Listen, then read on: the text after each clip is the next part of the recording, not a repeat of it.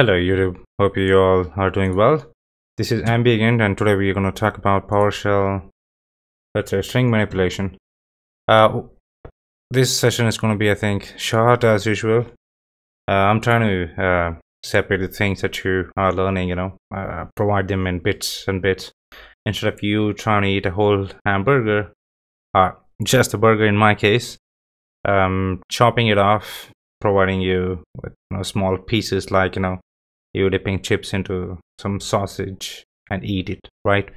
So uh, string manipulation right? So let's do PowerShell string manipulation. Well this is kind of important if you are in scripting or automation.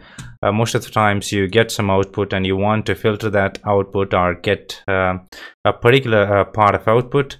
And this is how you do it let's say how you do it. This is how you do it. Let me kind of tell you how you do it.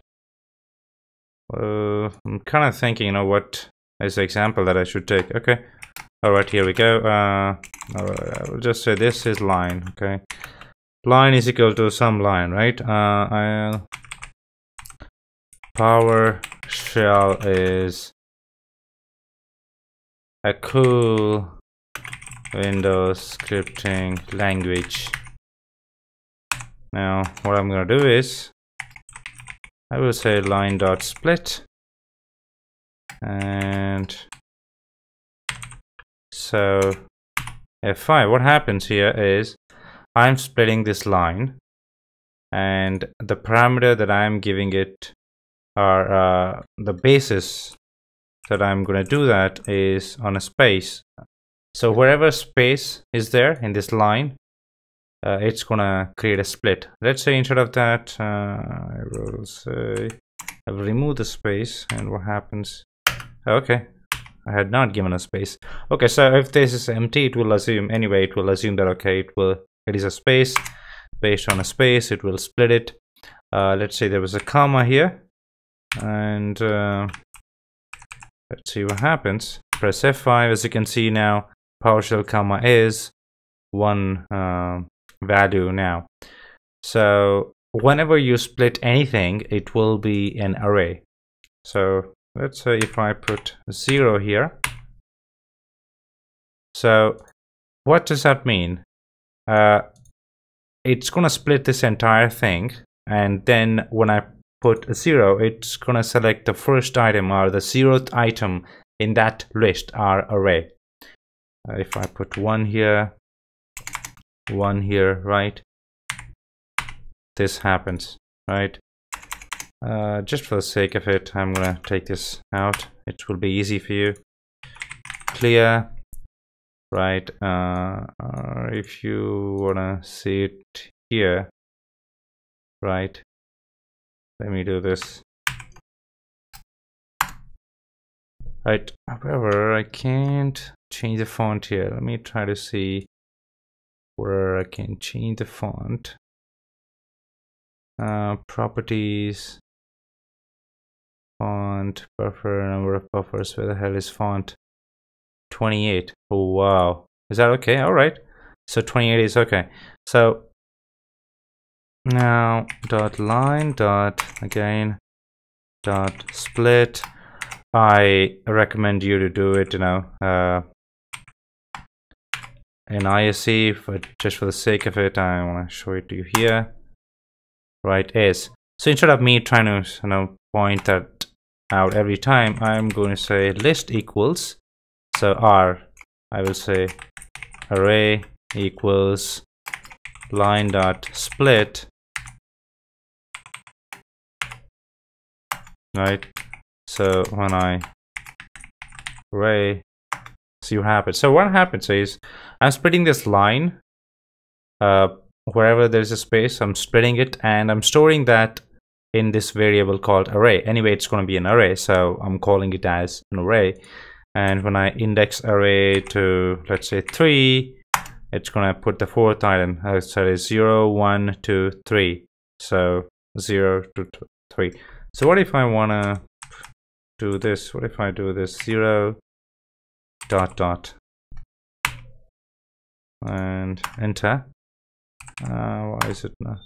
So it's gonna print out from zeroth item to third item. PowerShell is a cool right?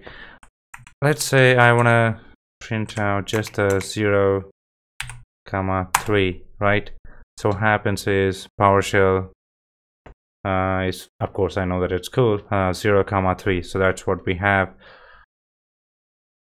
what if you want to join them? So uh, let me go back to ISE again. Uh, somehow like this here. It's kind of comfortable to edit and stuff. I'm gonna say array here again. So what I want to do here is I will say um, okay I will say first are hmm, okay I will, I will just say array a uh, minus join. Let's see what happens. Okay so it's joining the entire uh, array uh, uh number now uh, uh, whatever the items are there and then in this array it's joining them uh, with uh, without any delimiter or without any space because I have not given any space. I'm gonna give a space here okay I advised you to stick with single quotes just for the sake of it. Right now it's adding a space automatically. What if I put a comma here? So it's adding them based on a you know comma right? You see where i'm going with it right? You see that right? Let me clear this out. Do an f5 here again. So it's adding the whole thing again with a comma. What if i put this and um, let's say i just do this right? So this is how you manipulate string uh, split or uh, join. Um, what if uh, this is just one word instead of power shell right? What if it was just word? Hmm? Hmm, let's see what happens. Well first let's see what we get here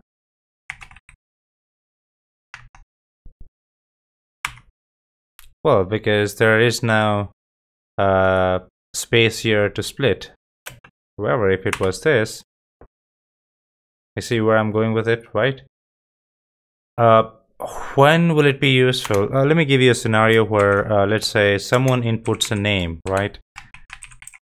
Chandra DMV, right? Uh, so you want to split that to line dot split.